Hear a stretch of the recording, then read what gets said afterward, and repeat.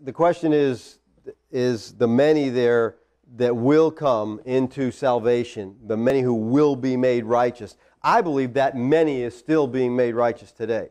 I believe that, you know, because of the finished work of Christ, the gospel is still going out from the temple, Ezekiel 47. It's still trickling forth. And there's a lot of disagreement on this in the preterist movement, which some of the, some of the things that are being said today make me not even want to say I'm a preterist anymore, okay? Because, I mean, it's, it's just really off the wall. People are ending, everything ended in AD 70, and, you know, there's no more salvation for us, and, you know, Christ didn't die for us, and all, all these crazy things that, you know, make no sense to me whatsoever. I mean, the gospel, you know, to think everything ended in AD 70, you know, the canon wasn't even completely put together then. And why did God go through the trouble of putting the book together and giving us a book and people dying for that book and all that's going on when none of it even matters? Um, in AD 70, the Lord returned consummating the new covenant. But everything that had been established there now was direction and guidance for that New Testament church. And I believe, you know, like I said, the water's still going forth from the temple,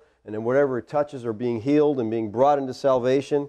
And I believe that we still have a calling, you know, to go out with the gospel and share it. You know, and don't think that because you live in America that everybody's heard the gospel. You know, because most of the things that are being preached and proclaimed are not the gospel. It's a false gospel.